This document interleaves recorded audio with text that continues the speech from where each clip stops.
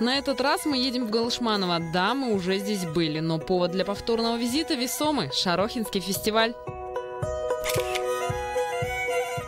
Вообще, я этим летом хотела съездить на фестиваль Каачелла в Лос-Анджелес, ну, на худой конец на Burning Man, а попала на Шарохинский фестиваль в Галышманово.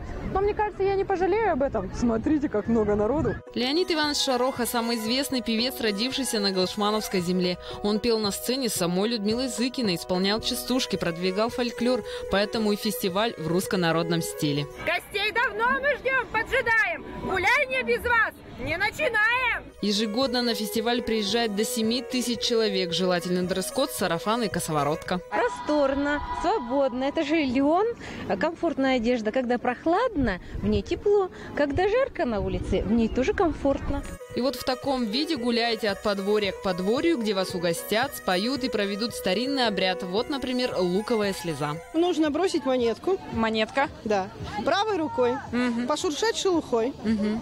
И сказать волшебные заговорные слова. Как шуршит шелуха, так шуршат деньги в моих карманах.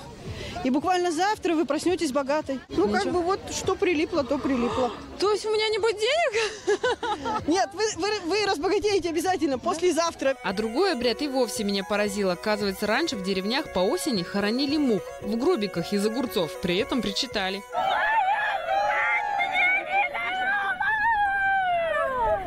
Так девушки раньше выгоняли насекомых из избы, да заодно устраивали себе смотрины, а осенью все дружно гуляли на свадьбах. Деткам тоже есть чем заняться на фестивале. Это жетоны. А зачем они тебе? Что они потом тебе дадут? Не знаю. Они нам дадут приз. Они потом могут обменять их на сувениры. Да, какие сувениры будут? Ну, я вот, если честно, не смотрела, не ходила еще пока. Ну, ценные, хорошие. Ну, конечно. А можно вас так просто вымутить? Нет, только через канат. Я с телевидения. Нет, Не сработало впервые. Вы тоже раздаете эти бонусы Да, да, потом, да? А, а вот, может, вы мне просто так дадите? Ну нет, как надо? Поучаствуйте, дадим, выиграете. Так нельзя. Почему нельзя? Я же с телевидения. Так что? Какие Глашманова все честные. Ну и, пожалуйста, что нет у меня бонуса, зато мне дали талон на бесплатное питание. Вот пойду сейчас пообедаю. Что тут вкусненького? Ну вы поняли, голодными с фестиваля не уйдете. Без покупки тоже народные умельцы из Галышманова показали все, на что способны. Например, Елена делает ростовые цветы, которые оккупировали инстаграмщики. Пусть они как пчелки летают, опылят, и у меня потом много их расцветет цветов. А вы соберете прибыль, да, потом? Да.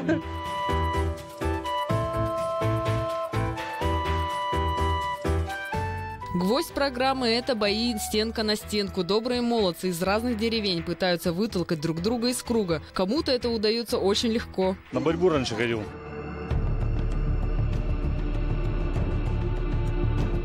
После то же самое испытание, но на одной ноге.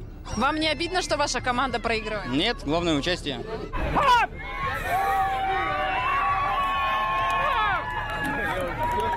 Сложно было очень, но мы смогли перебороть страх, взялись духом и победили. Прямо как наша сборная по футболу в матче с Испанией. Но не будем отвлекаться. Шарохинский фестиваль длится 4 дня. Среди гостей бывают замечены первые лица области, а в этом году району еще и 95 лет. Главный подарок Галышманова – статус городского округа. И есть за что. Они заняли первое место по производству молока.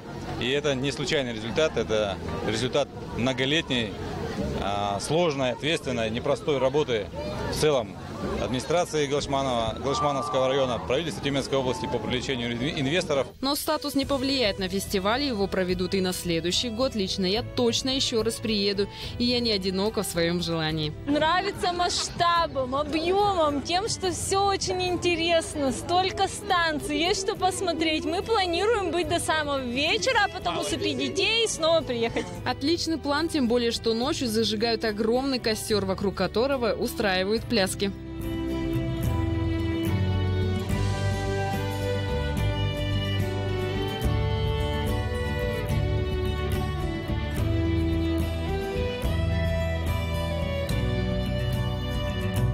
Не забывайте, что вы тоже можете нас пригласить. Для этого напишите в нашу группу ВКонтакте «Самая красивая деревня», либо опубликуйте фото в Инстаграм с хэштегом «Карина, приезжай», и мы обязательно приедем.